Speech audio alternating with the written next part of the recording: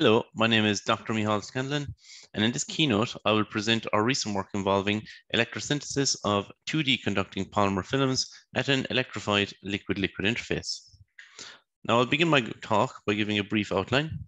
First, I will give a brief background to electrochemistry at the interface between two miscible electrolyte solutions, or ITIES.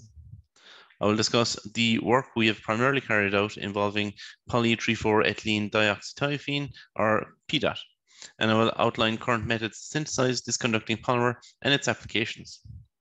I will give a comprehensive outline of the mechanism of interfacial electrosynthesis of 2D PEDOT films, and in turn, I will discuss both the thermodynamics and the kinetics of 2D PEDOT film formation.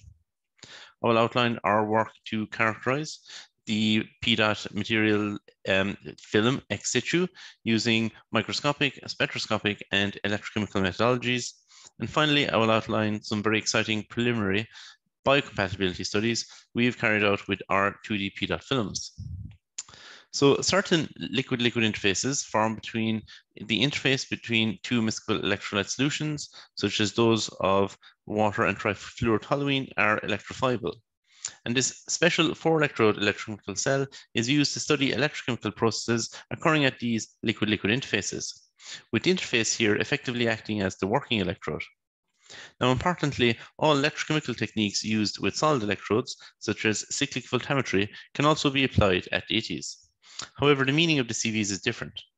For example, the width of the polarizable potential window at ITIES is typically limited by ion transfer of either the aqueous or the organic electrolyte anion or cation at the positive and negative potentials.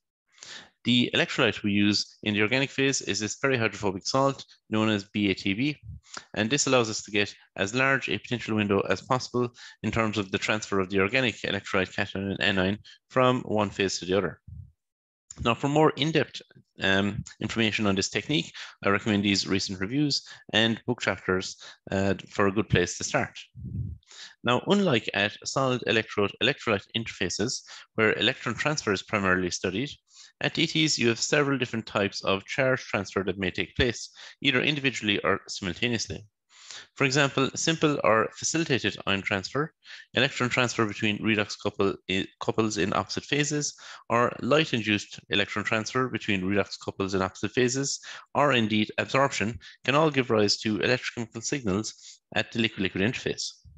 Now in this work, I will discuss eh, interfacial electron transfer between redox couples in opposite phases, one being an aqueous oxidant and the other being an organic monomer, leading to electrosynthesis of a 2D conducting polymer film at the liquid-liquid interface. So what are conducting polymers? So conducting polymers are lightweight, flexible, and transparent materials, making them ideal for incorporation into various technologies as 2D tin films such as in supercapacitors, organic electrochemical transistors, and organic solar cells. Now, PEDOT is one of the most commercially exploited polymers due to its high conductivity, ambient stability, and biocompatibility. However, due to its hydrophobic nature, PEDOT is rarely produced in a pure form. Instead, a complex of PEDOT and a hydrophilic anionic surfactant additive, known as polystyrene sulfonate, is essential to aid its processability, so to make it more aqueous soluble. However, an excess of this PSS has detrimental effects on PEDOT film conductivity, long-term stability, specific capacity, and biocompatibility. So if the addition of PSS can be avoided to make tin films, that would be a major advantage. Now, how are conducting polymer films currently made? So current uh, methodologies to generate conducting polymer films have deficiencies that hinder progress. So chemical polymerization is a multi-step process requiring the synthesis and the isolation of nanomaterials, their mixing with additives or binders, and then compressing them or coating them into films by spray or spin coating and inkjet or screen printing of solutions.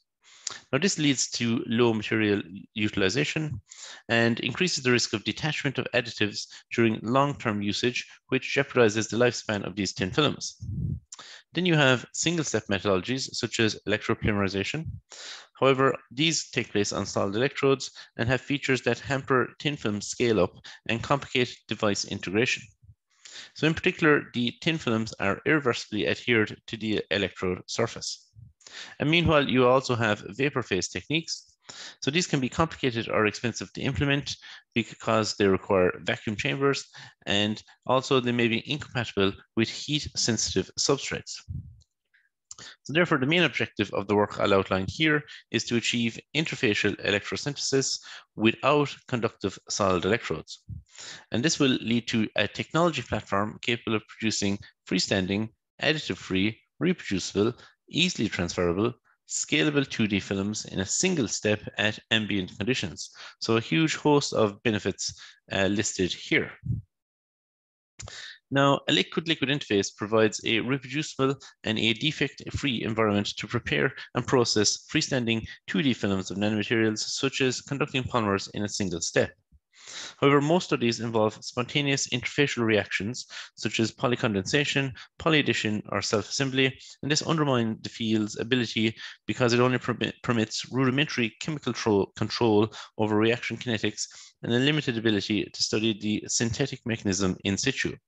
But both of these issues are solved by electrifying the liquid-liquid interface or polarizing ITIES. So during interfacial electrosynthesis, an externally applied potential difference is uh, applied by a potentiostat and is known as the interfacial Galvani potential difference, and it provides exquisite electrochemical control over the kinetics of interfacial electron transfer between an aqueous oxidant in this case and an organic monomer, leading to the formation of an interfacial tin film, as we see here. So also this approach has the inbuilt advantage that you can probe the mechanism of electrosynthesis electrochemically. Now, previous work has been carried out in this field by the groups of Cunnane, Mareček, and Dryfe, and these all provided some nice early insights into electropolymerization or electrosynthesis at electrified aqueous organic interfaces. So a key aspect of interfacial electrosynthesis is that it will produce 2D films with distinctive molecular architectures and physiochemical properties that will be inaccessible in bulk solution or at solid electrode interfaces. So we have broken down the mechanism of PEDOT tin film interfacial electrosynthesis into five distinct stages with time, which I'll now present in the next five slides to give a comprehensive overview of this technique. So to begin with is interfacial electron transfer, and this occurs between the aqueous um, cerium 4 plus oxidant and EDOT organic monomer um, forming red monomeric radical cations in the diffusion layer on the organic side of the ITIES. So you have interfacial electron transfer forming these radical cations. Now, for interfacial electron transfer to proceed with appreciable kinetics, ITIES must be polarized positively, as I will discuss later, with potential set to a value near the positive extreme of the Galvani polarizable potential window. The radical cations formed are stabilized by weakly coordinating organic anion, so that's Tb minus that I discussed, and these will further couple with each other, leading to the formation of dimers in the diffusion layer. Now, continuous radical cation generation by interfacial electron transfer and ensuing radical coupling steps ultimately lead to the formation of cationic PEDOT oligomers. Um, also, these coupling steps result in the release of protons. And these protons will build up on the organic solidities, um, and they are stabilized by the PEDOT tin film itself or by water present inside the film. Now, in the second step, we have interfacial adsorption. And this interfacial adsorption involves ion pairing between the cationic PEDOT oligomer and aqueous electrolyte anions. And in our case, they're sulfate anions. That takes place once these oligomers here reach a certain critical size after an induction period. The aqueous sulfate anions displace the weakly coordinating organic Tb minus anions during interfacial adsorption, um, with the result being that the aqueous anions are the sole dopant in the PEDOT tin film. Now, this deposition process is typically driven by the energetically favorable reduction of the interfacial tension between the two uh, liquid phases, the oil and the water, upon monomer absorption. So the maximum value of the interfacial tension occurs near the potential of zero charge at the ITIES. And this dictates the critical size of the PEDOT oligomers needed to become surface active at ITIES. So in other words, as the interfacial tension increases, the oligomers that absorb their critical size decreases. So if we set the potential slightly negative of the potential of zero charge, this is optimal for oligomer adsorption, ensuring that the presence of a sufficient concentration of sulfate here is present at the liquid-liquid interface for ion pairing. And it also allows us to simultaneously maintain a large interfacial tension. Thus, for optimal interfacial electrosynthesis, the interfacial electron transfer and the oligomer interfacial adsorption steps so steps one and two must take place at different applied potentials. And this means that potentiodynamic electrochemical techniques, such as cyclic voltammetry, will be favored over potentiostatic electrochemical techniques. So in the third step, we have nucleation and growth of absorbed PEDOT oligomers taking place at the liquid-liquid interface. So the PEDOT oligomers here are like conducting islands that float at the interface, and they act as bipolar electrodes. So in effect, they provide an abundance of catalytic sites that act as electrical shortcuts to catalyze interfacial electron transfer between the cerium aqueous oxidant and EDOT species in the organic phase. So this is an autocatalytic effect, and interfacial electron transfer therefore proceeds at a much lower overpotential than at a bare ITIES, with a several order of magnitude higher kinetic rate constant expected. Thus, these PEDOT islands will show rapid 2D growth parallel to the liquid-liquid interface. Now in the fourth step, gaps between the individual rapidly growing islands of PEDOT will disappear, and a highly compact 2D PEDOT film coalesces at the ITIES that is flat on both sides with a thickness of around 50 nanometers. In the fifth and final step of the mechanism, continued a physical barrier now exists between the uh, cerium and the EDOT species either side of the ITIES. However, due to its conductive nature, interfacial electron transfer continues through the PEDOT tin film, though at a reduced rate to the autocatalyzed scenario that I discussed in step three.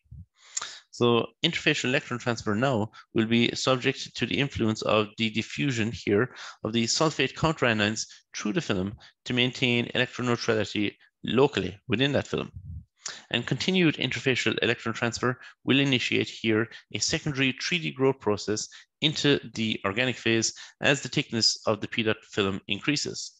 And this controllable secondary growth process leads to the formation of a highly porous 3D structure that can have a thickness up to 850 nanometers in the tin film at the liquid-liquid interface.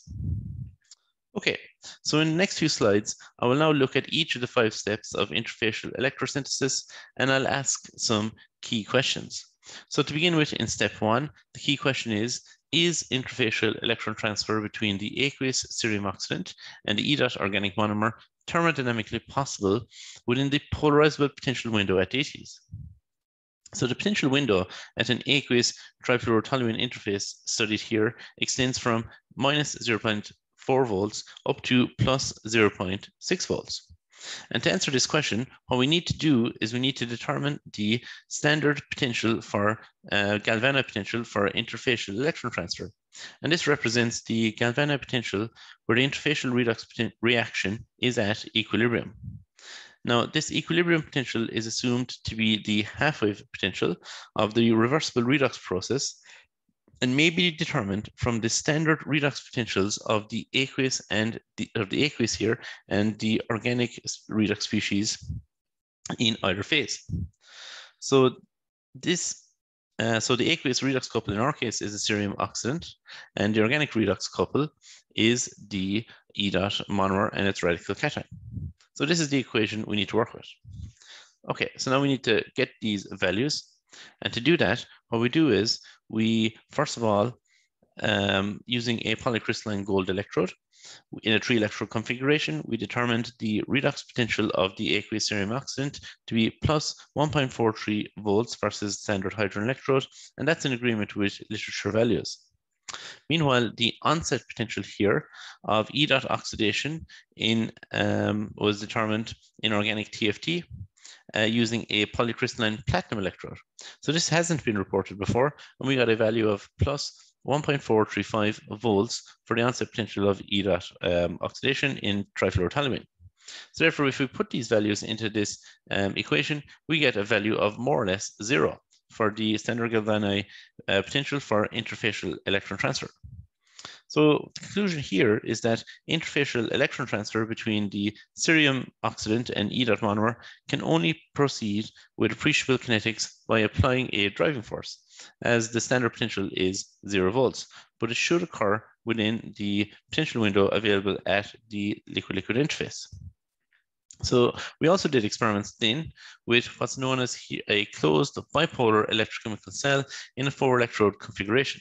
And we use this to directly determine the standard Galvani potential for interfacial electron transfer for biphasic PEDOT electrosynthesis on the galvanized scale. So as discussed in our recent articles here, in this bipolar setup, interfacial electron transfer between the redox couples is thermodynamically equivalent to the same corresponding event occurring at the ITIES. Now, the bipolar electrode consisted of two individual gold disc electrodes, one in each phase, uh, or each compartment, acting as the aqueous and the organic pole. And these were connected by an electric wire. So each compartment, compartment contained a platinum wire driving electrode here, and also reference electrodes. As the Galvani potential difference between the aqueous and the organic phase is biased positively by the potentiostat, this facilitated electron transfer at the organic pole uh, to aqueous cerium, which is reduced at the aqueous pole. So you have PEDOT film formation here as the E dot is oxidized and the electron moves along the electrical wire where it's picked up by the cerium species. So this is what we get in terms of cyclic voltammetry. So using the closed bipolar electrochemical cell, we determined here that the standard Galvani potential for inter interfacial electron transfer for biphasic PEDOT electrosynthesis was indeed approximately zero volts. so compared with the closed bipolar electrochemical experiments, additional overpotentials to interfacial electron transfer are expected at the ITIES, such as reorganization energies and double layer effects. So as a result, this will push the Galvani potential for electron transfer a little bit more positive uh, than would be thermodynamically perfect. So at the liquid-liquid interface, we at least expect overpotentials of around 200 millivolts, and therefore interfacial electron transfer is not expected to occur spontaneously.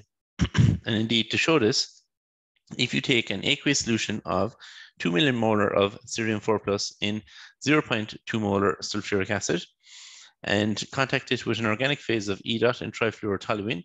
So basically this cell here, no PEDOT thin film forms after 24 hours. Therefore, to initiate 2D PEDOT film formation for this aqueous oxidant organic monomer combination, the liquid-liquid interface must be polarized using a potentiostat in conjunction with a four-electrode electrochemical cell. And that's what we did.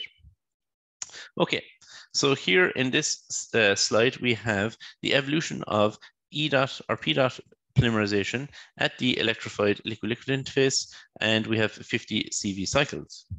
Now, to our knowledge, this is the first example of CVs representative of interfacial electrosynthesis of conducting polymers being recorded at an electrified liquid-liquid interface. The double layer grows steadily with cycling, and this is in a manner that is similar to electropolymerization at a solid electrode, although the meaning of the various peaks here is different. So interfacial electron transfer between the cerium and the EDOT forming oligomers was predicted based on the thermodynamics to occur at positive potentials of plus 0.2 volts. And indeed here at plus 0.2 volts, we see we have a wave of interfacial electron transfer. So this here is our interfacial electron transfer peak, and these peak, this peak here is due to adsorption of oligomers at the liquid-liquid interface. So you can see we begin here with a yellow aqueous cerium solution and a colorless uh, solution with the monomers, and the cerium is um, reduced and it goes colorless and you get the PEDOT tin film formed at the interface due to these CV cycling. Um, and this is the first ever example of this at a liquid-liquid interface. So then we did some in situ parallel beam UV-vis absorbance measurements to qualitatively monitor, monitor first the reduction of cerium 4 plus to cerium 3 plus just above the liquid-liquid interface during electro uh, during interfacial electrosynthesis. And here we see that cerium 4 plus is indeed depleted with time with the absorbance at 385 nanometers decreasing. We then did additional UV vis absorbance measurements with the parallel beam shining through the PEDOT tin film that was formed and um, at the ITIES. And we get this spectrum. So this spectrum was that of a p-doped PEDOT tin film with a polaronic band observed at around 700 nanometers. And this signifies that the PEDOT tin film is in an oxidized state.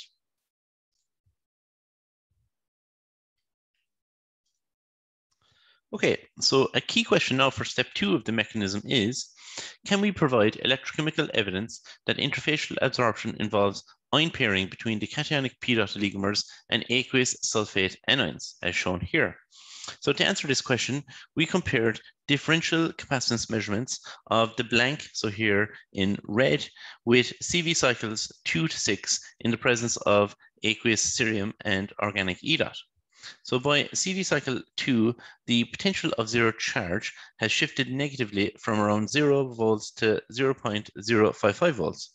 And the differential capacitance curves have flattened significantly compared to that of the blank. So to be clear, each of these um, AC voltammograms were obtained after each of these CVs. Now, the potential zero charge is sensitive to the interfacial absorption of species, either from the aqueous or the organic phase. And this negative shifting implies adsorption of positive species. Thus, the negative shift in the PZC by CV cycle 2 is attributed to interfacial absorption of cationic PEDOT oligomers, and the flattening of the curves indicates a decrease in permittivity at the aqueous trifluorotoluene interface due to the presence of these adsorbed oligomers. Now with additional CV cycles, we see that a sharp peak here appears around minus 0.01 volts, and this is attributed to interfacial ion pairing between the PEDOT oligomers and aqueous sulfate anions. And the peak's magnitude increases with cycling as the PEDOT oligomer concentration increases in the diffusion zone on the organic side of ITIES. So furthermore, the differential capacitance increases across the width of the polarizable potential window with this cycling due to the accumulation of more charge as the PEDOT tin film grows. Now, interfacial electron transfer and oligomer interfacial adsorption steps occur at different potentials. So our conclusion is that double potential step chronoamperometry, so DPSCA, was chosen as the electrochemical methodology for to provide the external driving force for the remainder of our experiments. So here we have the results. A single DPSCA cycle involves first holding the Galvani potential at plus 0.4 volts for 10 seconds to induce interfacial electron transfer between the cerium and the E dot with appreciable kinetics, leading to a positive current time transient and the formation of cationic PEDOT oligomers in the diffusion zone on the organic side of the ITIES. Next, the Galvani potential was said held at minus 0.1 volts for further 10 seconds to induce PEDOT oligomer interfacial adsorption, leading to a negative current time transient. So the value of minus 0.1 was chosen, and it is highly negative of the PZC at a bare liquid-liquid interface or aqueous TFT interface, and, and we determined that earlier by AC voltammetry. So thus a potential of minus 0.1 volts is predicted uh, to provide the ideal interfacial conditions to ensure a sufficient concentration of sulfate to participate in ion pairing with the positively charged PEDOT oligomers, and also a large enough interfacial tension to aid oligomer adsorption, while also preventing an accumulation of protons on the organic side of the that would otherwise electrostatically inhibit interfacial electron transfer from E dot to cerium. Now, moving on to discussing the kinetics of interfacial electrosynthesis.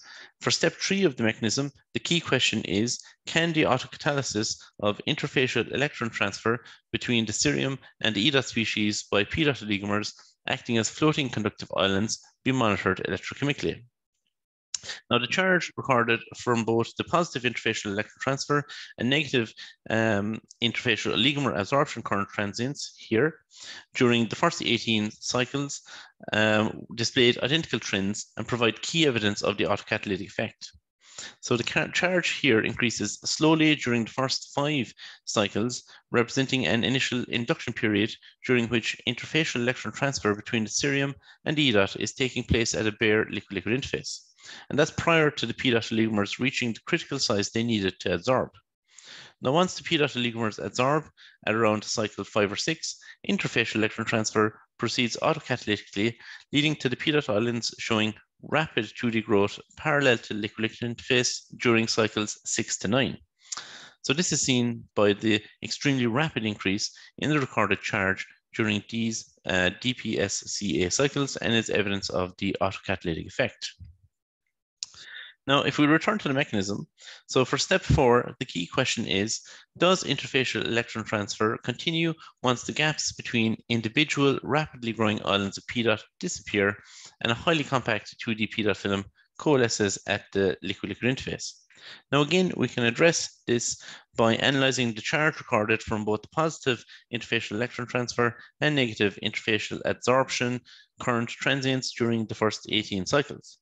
Now, by cycle 9 or 10, highly compact 2D PEDOT film has coalesced at the liquid-liquid interface, and it is acting as a physical barrier. But nevertheless, in interfacial electron transfer continues through the conductive film as the charge continues to increase as um, though at a greatly reduced rate uh, from the autocatalyzed scenario. So for all uh, cycles greater than nine, the thickness of the PEDOT film does continue to increase uh, due to its conductive nature, allowing interfacial electron transfer to take place. And so scanning electrochemical or SEM images of the 2D PEDOT tin films were carried out after 150 DPSCA cycles, and they revealed an incredible asymmetric morphology. So we call it a Janus morphology. So one side is flat at the nanoscale, while the other side shows a rough porous 3D structure. So the flat side is the aqueous facing side and mirrors the defect-free nature of the liquid-liquid interface.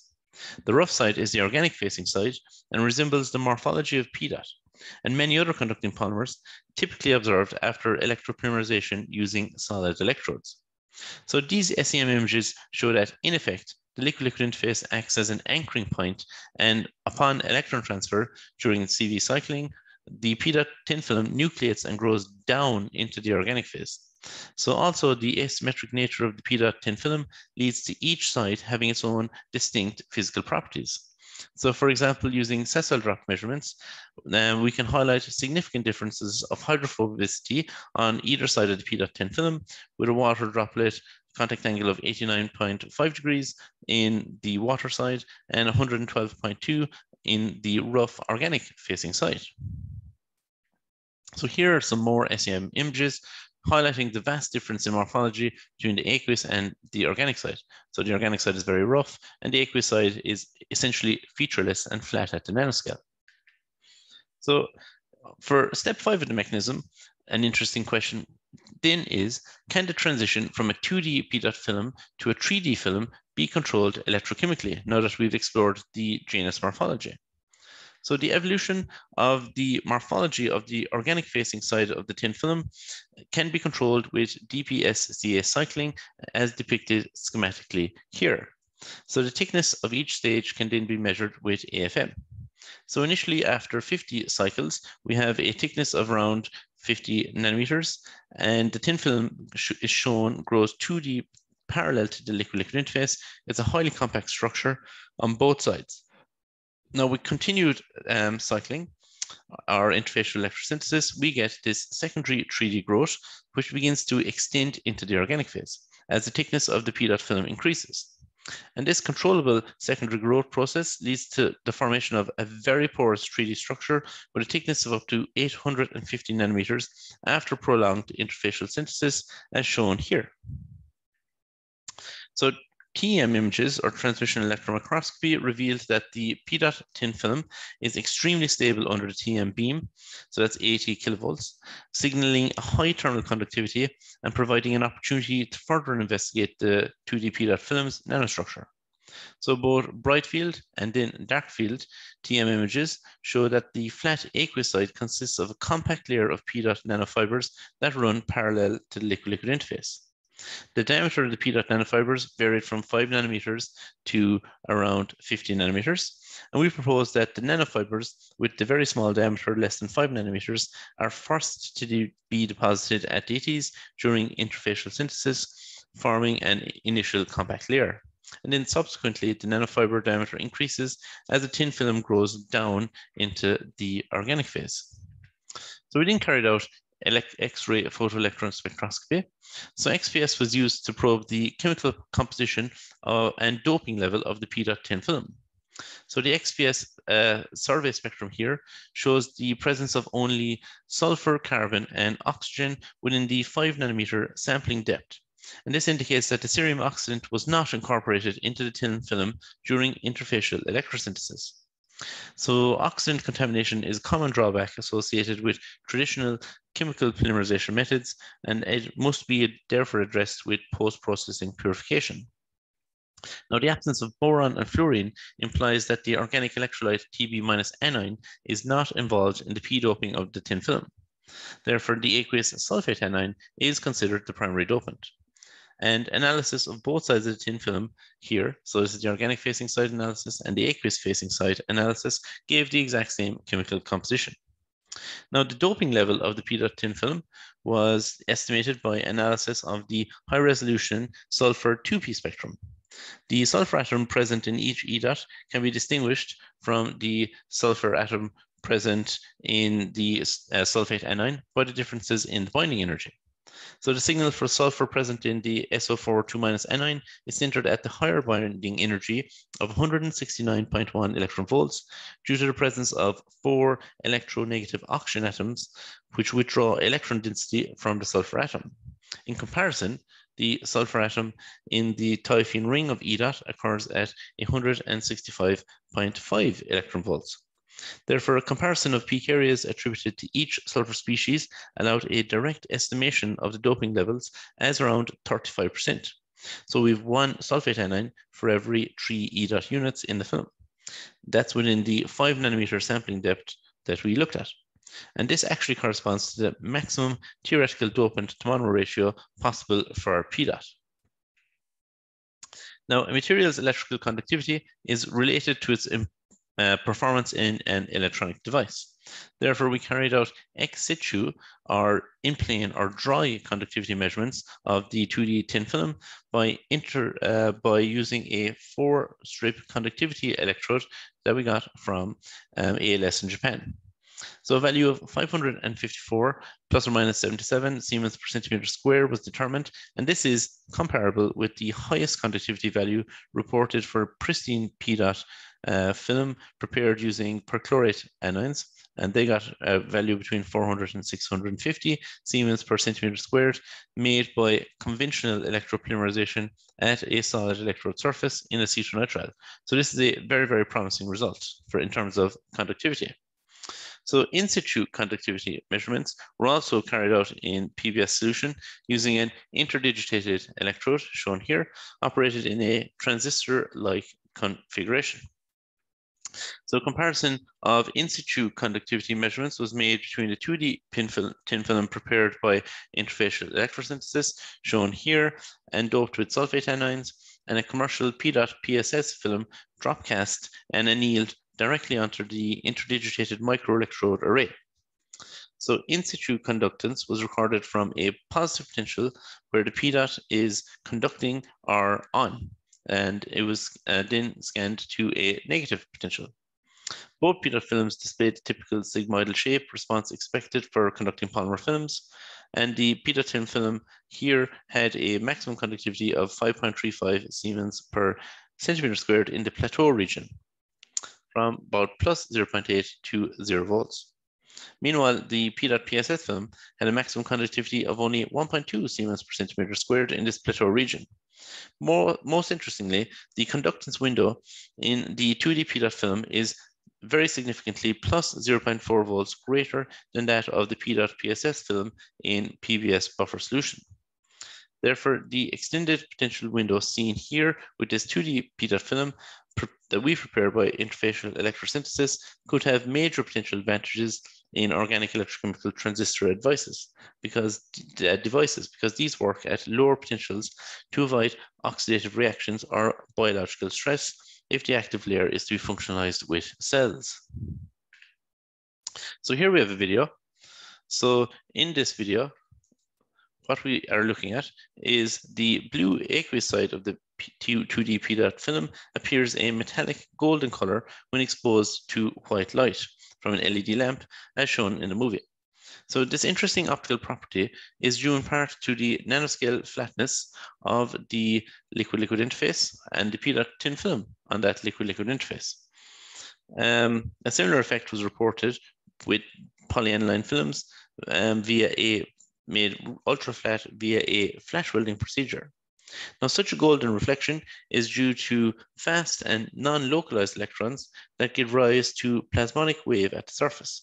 And this indicates that the 2D PEDOT film we have prepared contains large amounts of highly delocalized electrons that are highly conductive. So on the very flat surface, the interaction between ambient light and these superfast electrons is observed like in gold. Um, meanwhile, on the rough side, the diffusion of light by nanometric variations in the morphology changes their optical properties. But the bluish color is an indication of an absorption in the red part of the spectrum, like the plasmons of gold nanoparticles. Now, a detailed investigation of these plasmons that we, we, we will carry out uh, using energy electron loss spectroscopy or EELS and using Raman spectroscopy. Now, the biocompatibility of our 2D PEDOT film was compared with that of a PEDOT PSS film in collaboration with Dr. Kieran McGourty's lab, and we found exceptional conductivity as shown by cell count per field of view using here confocal fluorescence for our 2D PEDOT films with and without collagen. So our films with and without collagen are far more biocompatible than in with the commercial PEDOT PSS films prepared by drop, drop casting and terminal annealing. So these uh, studies were performed using an adherent cell line of normal human retina pigment epithelium. And we have no, in effect, PSS in our films. And this was found to increase their biocompatibility massively. Now, to conclude, Using PEDOT as a model system, interfacial electrosynthesis has been demonstrated as a powerful new approach to produce 2D conducting polymer films with distinct molecular architectures and physiochemical properties. Immediate applications of these films will be in supercapacitor, organic electrochemical transistor, and tissue engineering technologies due to their biocompatibility, and these are all envisioned. Our future work will involve demonstrating interfacial electrosynthesis using other monomers of technologically important conducting polymers, such as polymer poly-3-hexylthiophene 2,5-diyl, so P3HT. That's used extensively in photovoltaic technology. Also, we want to upscale the production of 2D conducting polymer films by combining interfacial electrosynthesis with a roll-to-roll -roll continuous deposition method. So I'd like to acknowledge uh, my team. So these are all members of my team who work on the Polymer project. I particularly like to thank Alonso, Rob, and Natalie, who've been working on this for many years at this point. And both Rob and Natalie will, will discuss their work on polymers later on today. And I would also like to thank my funders for the funding. And finally, I would like to thank you for your attention. Thank you very much.